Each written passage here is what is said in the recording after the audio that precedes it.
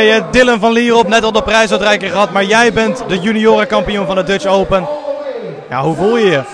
Ja, heel blij. Echt. Ik kan het nog steeds niet geloven. Echt. Ja, heel blij, ja. Had je het ooit kunnen dromen dat jij vandaag op dit podium de, de titel pakte? ja. Kijk, ik ging erheen in de hoop van, het zou wel eens kunnen. En dan haal je de finale en dan is het van, ja, het kan nog steeds. En dan nu haal je het. Ja, echt geweldig. Als we zo kijken naar jou op het podium, dan, dan zien we dat je koelbloedig bent. Het, het lijkt alsof je niet al te veel zenuwen hebt. Klopt het een beetje of was het toch een beetje? Ik stond te trillen, maar toen ik die 2-0 maakte, toen was ik los. En ja, toen, eh, toen was het klaar, ja. ja. Ja, we hebben een goede finale gezien. Je, je gaat ook weer in het Nederlands team spelen. Deze titel moet ook heel goed zijn voor je zelfvertrouwen, neem ik aan. Ja, dit. Ja, ja, echt waar, ja. Tuurlijk, ja.